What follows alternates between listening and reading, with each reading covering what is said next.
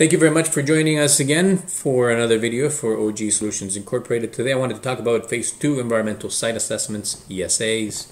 Um, we had another video that was related to Phase 1 Environmental Site Assessments, which, um, as a short description of them, uh, they're basically just a liability check, an environmental liability check to make sure that uh, there are no potential environmental dangers um, that are easily identifiable uh, through a document uh, review. Now, the phase two um, environmental site assessment is basically what happens after a phase one. Um, you might say that's pretty obvious, but the phase two is uh, acting on those items that are identified on the phase one. So, um, typically, it would require uh, some test pits to be completed to identify the areas or the potential extent of a contaminant of concern in a certain area that has already been identified as a uh, area of environmental potential environmental concern uh, for a certain contaminant of concern. So, say for example, if you have uh, identified on the phase one that there was an oil tank back in 1960 that was installed at this property, it was later removed in 1980s, and you're doing your assessment today, well, guess what? I'm going to be doing an assessment straight in that area because that will be an area of concern. So you'll be doing either test pits or you'll be doing borehole drilling or examining the area through other more advanced methods that are uh, emerging technologies at the moment.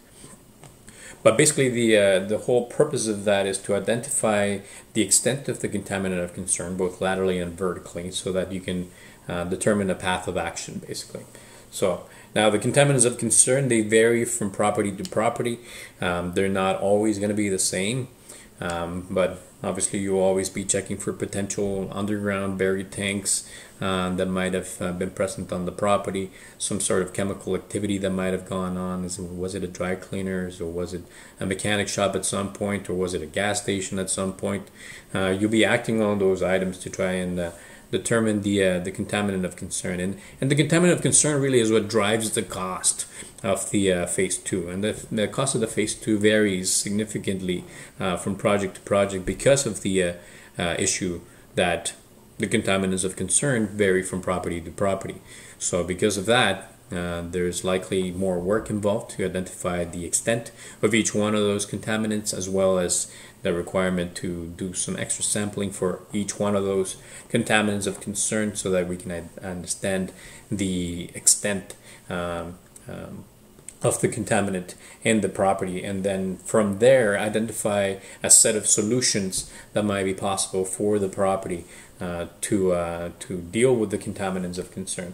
So that's basically the result of the uh, phase two is to uh, provide the client uh, with an idea of where the contaminants are, how much are um, how much of them uh, is present in the property, either in the soil or in the water, and then um, identify a path of action so that the next stage, uh, which some people identify or mention it to be a phase three environmental site assessment.